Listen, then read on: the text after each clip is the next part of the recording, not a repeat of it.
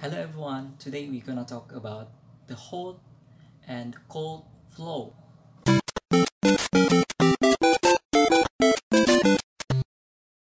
Prepare hot water, then check the temperature.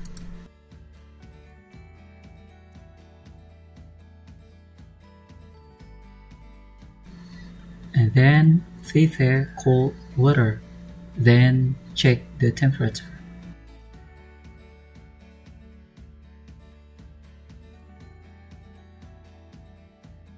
Cover hot water using the card.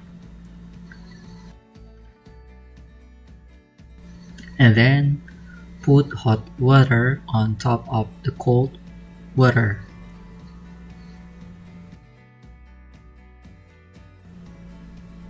Then remove the card between the two bottles. Observe the change that occur.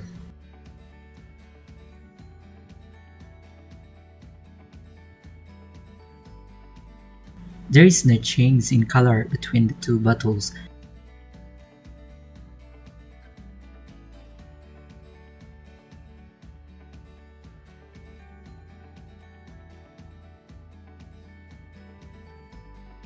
And then separate back and then switch the position between the hot water and the cold water.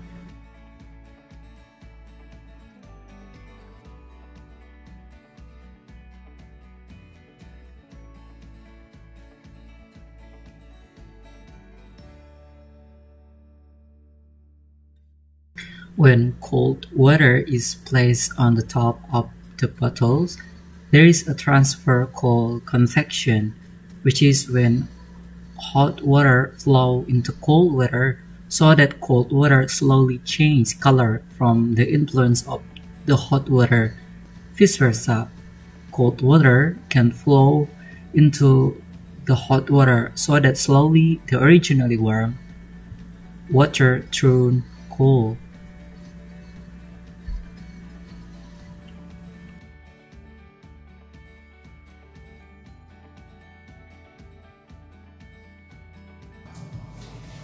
Convection heat transfer occurs due to the difference of density.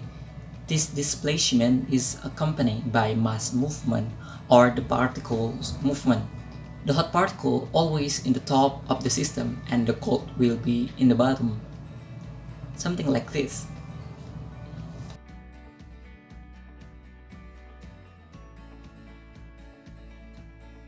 Okay, thank you for your attention. Thumbs up.